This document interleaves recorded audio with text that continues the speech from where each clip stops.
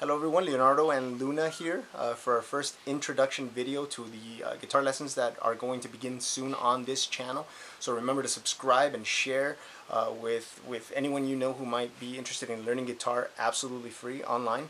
Uh, the reason why I'm doing these uh, lessons is because, um, you know, about 15 years ago my grandfather taught me and um, I've come across a lot of uh, just ideas and tips and, and, and things that, that have helped me learn to play guitar uh, and, and help me uh, memorize things quicker. And I just wanted to share those ideas with you in hopes that we can grow our musical community and you know exchange ideas. Maybe you have a couple of ideas that might help me.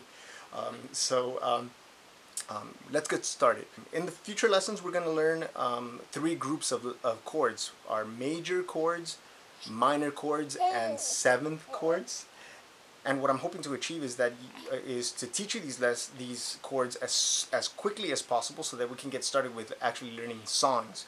Um, I am gonna have a couple of tutorials on different songs and stuff as we go along. But if you're a beginner, uh, you feel free to just follow along with the beginning with the beginning lessons.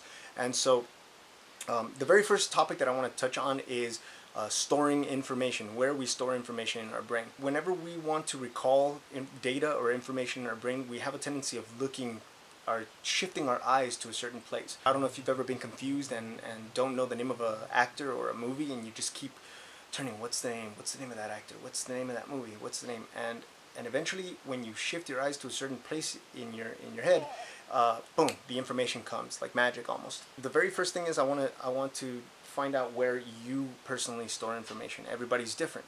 So I'm going to ask you a couple of questions. The very first thing that I want you to notice is where do your eyes shift when you access that information? Okay, so I might ask you something simple like what color shirt did you wear yesterday? And just watch where your eyes shift. Um, another question would be what did you have for breakfast yesterday morning? If you can't remember, change it to lunch. What did you have for lunch yesterday? and notice where your eyes are shifting. Now for me, I shift sort of up into to the right, up into the right, and uh, um, and that's where I store information. So in the future, when I show you a chord um, and I ask you to store it in your um, in your brain or store it in, in, the place where you memorize things in your brain, I want you to place it there. Here's what I want you to do. I'm going to show you a chord, for example. I'll show you how what the A chord looks like, and then I'll ask you to store it in that part of your brain. I want you to think of your brain as sort of an iPad, where um, you have a photo and you can you can shift through that photo and and bring in another another image. Okay, so we can shift that image. Here's an example of a few kids and a few questions, so you can see how their eyes shift. What field trip did you go to when you were work, when you went to Kimbark? The LA Zoo. What was the name of your teacher last year? Um, Miss, I mean, Miss Haig. What field trip did you go to last year? Legoland. Okay. And what was your favorite part about Legoland? Um, my favorite part was when we went on the little cards. What grade are you in? Fifth. What's your favorite subject in school? Science. Who's your favorite teacher? Miss Balcoff. What did you have for breakfast this morning? Cereal. what are your planets? Sun, Mercury, Venus, Mars. I mean Earth. Uh huh. And then Mars. And then? Awesome. What is your favorite cartoon? Caillou and Strawberries for Cake and um. Born to Go. Now, as you can see, some of them were very different. Um, one turned their eyes this way, the other turned her eyes the opposite way.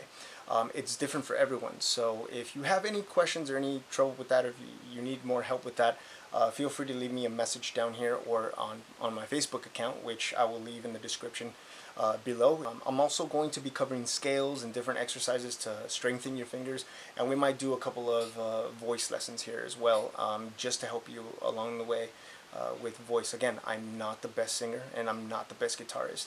If you have a guitar player in your area, a guitar teacher in, in your area, I suggest you, you sit with them because there's nothing like having an instructor, an instructor uh, um, positioning your fingers, uh, catching any any bad habits that may be forming that might either slow you down or or um, or give you a bad sound. I hope that this uh, first introduction video helps. We'll be posting a video here soon. We'll be focusing on tuning the guitar. We'll be focusing on, on different exercises to strengthen the fingers uh, for speed as well. We're going to be covering, you know, mostly Spanish. I'll cover a couple of English songs as well. But if you have any suggestions, feel free to uh, send them over to me and, and um, I'll learn them and I'll post them as much as I can. Now, as you can imagine, there's, I'm going to receive a lot of a lot of requests, so bear with me and be patient with me, and I'll try to get them to you as soon as I can. Uh, so again, subscribe to the channel, uh, follow me on Facebook, um, be posted, share with your friends, and uh, see you soon.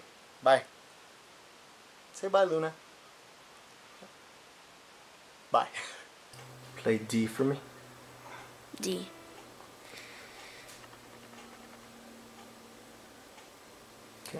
A.